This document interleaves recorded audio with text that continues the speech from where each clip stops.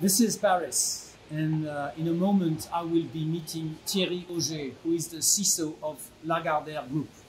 In Paris, like anywhere else in the world, the CISO has a prominent role and a growing role, being able to monitor from one single place a mosaic of distributed sites, being able to use artificial intelligence to offload the teams from the very difficult and very repetitive work is at the heart of the concerns. This year was the year of the holistic approach, where the fabric is being de facto adopted. Fabric adopted doesn't really mean and only mean that you have Fortinet products everywhere. This is the beauty and the force of it. But here, in an international group where various subsidiaries are coordinating an information action uh, with a central place, the Fabric holistic view uh, is a core component.